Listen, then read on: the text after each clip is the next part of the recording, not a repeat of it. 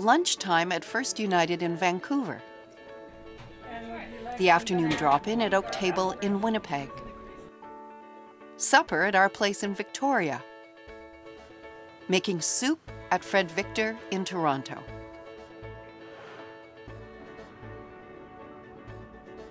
There are thousands of hungry people in Canada and thousands of reasons why they are hungry illness, poverty, the economy, family breakdowns, addictions, and just plain bad luck.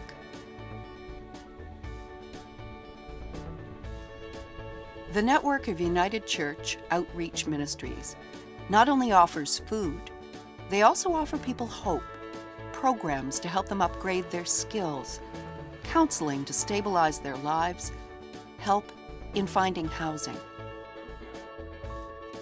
And the ministries ask not why people are hungry, but what we can do to change the systems that create this hunger. It was rightfully so. You know, he'd be a lone eagle all his life. United Church Outreach Ministries are not a handout, they are a hand up. First offering to quell the hunger, then support people as they regain their dignity and place in society.